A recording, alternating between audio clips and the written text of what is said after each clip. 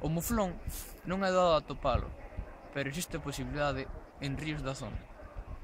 O macho presenta unha cornamente respetable, a que se distingue perfectamente, xa que os cornos están como anillados. Aliméntase de gramíneas, ervas, talos de arbustos. A súa actividade é totalmente diurna.